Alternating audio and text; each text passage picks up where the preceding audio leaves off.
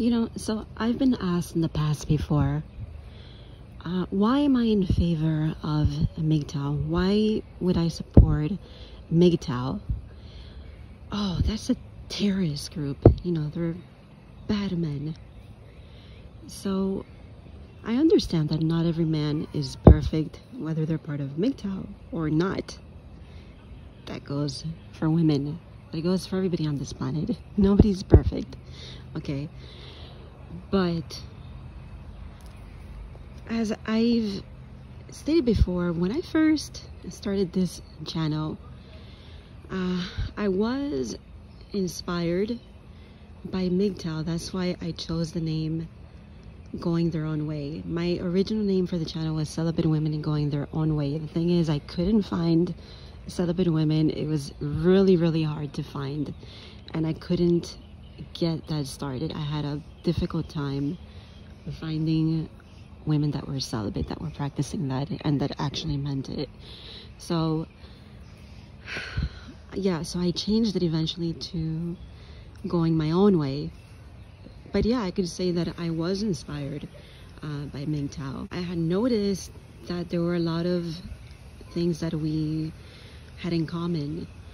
Um, I noticed that a lot of them were celibate, so I initially confused the group for a celibate group. I actually thought that MGTOWs were celibate. I really used to think that. Then later on, I was kind of disappointed when I found out that half of them were not.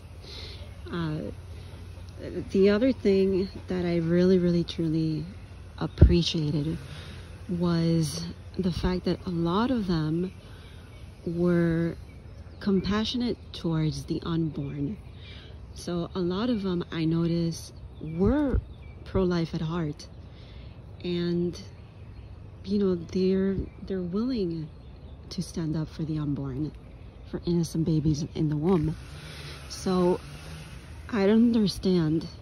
I really don't understand how the government could label MGTOW terrorist.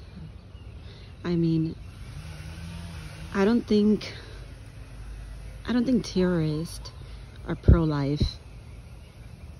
If MGTOW is a terrorist group, then why are they willing to stand up for for innocent babies? Why are they willing to defend the unborn? I don't think evil people would do that. So,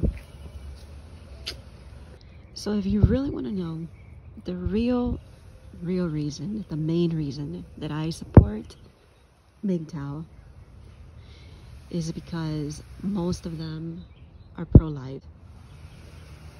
Most of them are pro-life and they're real men who are willing to stand up to defend the unborn.